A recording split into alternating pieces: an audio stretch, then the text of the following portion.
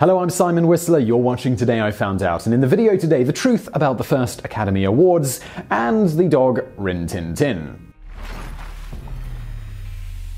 In comparison to the multi million dollar star studded display of excess that is the modern day Academy Awards, the first Academy Awards ceremony was a relatively muted affair that could even be described as quaint if you were so inclined. Held in a medium sized banquet hall in a Hollywood hotel, mostly known for being haunted today, that's the Hollywood Roosevelt Hotel, the May of 1929 event wasn't even broadcast to the public in any form. As unbelievable as it may seem, given how massively popular the Academy Awards are today, the the idea of an awards ceremony to celebrate various achievements in filmmaking was initially thought to be rather absurd. You see, few in Hollywood believed that any members of the studios within the industry would vote for anything but their own films. As for the Academy of Motion Picture Arts and Sciences itself, it was a relatively new organization, in part formed by producer Louis B. Mayer in 1927 with the intent of uniting the various branches of filmmaking, as well as to try and curtail these entities from unionizing.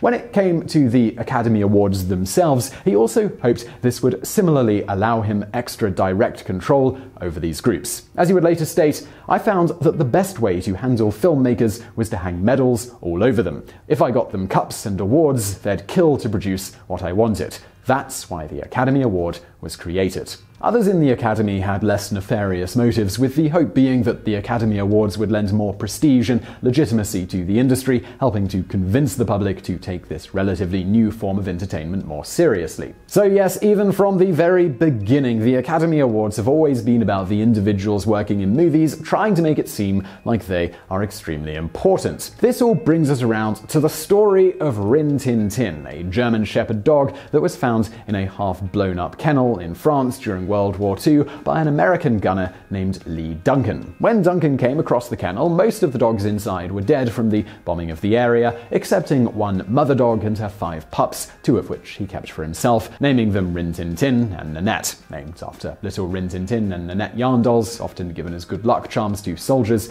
and others fighting to free France. After the war, Duncan brought the two dogs back to the United States with him, with Rin Tin Tin ultimately becoming a huge star in Hollywood, prominently appearing in a whopping 27 films during his career. Indeed, he is pretty much responsible for popularizing the German Shepherd breed in America and playing a large part in keeping the struggling Warner Brothers afloat in the early days. In the year leading up to the first Academy Awards, he also starred in four hit films Jaws of Steel, A Dog of the Regiment, Tracked by the Police, and Hills of Kentucky. If you want to see Rin Tin Tin in action, I'm going to link to that below. So, when said award ceremony came around, the story goes that he naturally won Best Actor. But as a huge point of the Academy Awards was to try to make filmmakers and their films seem more important and prestigious, having a dog win one of the top awards didn't sit well with the organizers. So, for that reason, the Best Actor award went to Emil Jannings instead. Or at least this is the story that is oft repeated on the interwebs, even on some of the most otherwise reputable sites. So, now the question is is it true?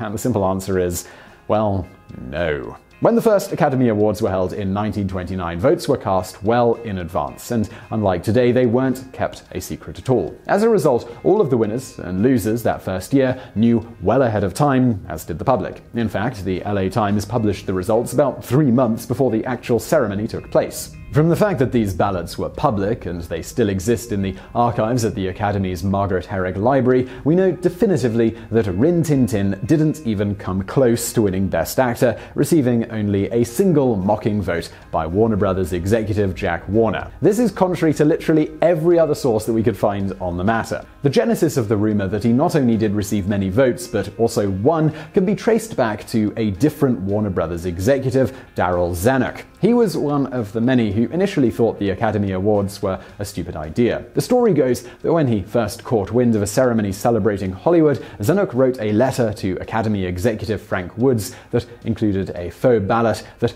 only nominated Warner Brothers features and workers to demonstrate what he believed would happen if the idea became reality, that everyone would just vote for their own stuff. He then further showed his contempt for the idea by writing Rin Tin Tin's name for Best Actor. Who actually became a strong proponent of the awards in later years, evidently told this story one too many times at a cocktail party or two, leading to it becoming enshrined in Hollywood lore and repeated ad nauseum. This in turn resulted in the story ending up in a 2011 book by Susan Orlean, Rin Tin Tin, The Life and the Legends. The news media picked up on this, spreading the legend as fact, and seemingly few bothered to look into it from there on out. The truth is that when official ballots were actually cast, Zanuck didn't even bother voting, joking or not. So, sadly, despite arguably being one of the most popular stars in Hollywood and by all accounts a very, very good boy, Rin Tin Tin was completely snubbed by Hollywood insiders thanks to their blatant and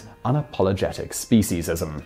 And so it was that German actor Emil Jannings, who would later go on to make Nazi propaganda films, was honoured instead. As for Rin Tin Tin, he remained a good boy and despite being a German shepherd, never appears to have had any Nazi leanings. On top of that, he doesn't appear to have ever discriminated against anyone based on their species, race, or seemingly had any prejudices of any kind, except presumably a deep loathing of mailmen. So I really hope you enjoyed that video and don't forget to subscribe to this channel for brand new videos every day of the week. Also, I've got another channel, it's called Biographics. It's biographies of notable people from the present day as well as history, from Elon Musk to Osama bin Laden. You can check it out through the icon on the screen now. But if you want something else to watch right now, why not check out another Today I Found Out video or a Biographics video over there on the right.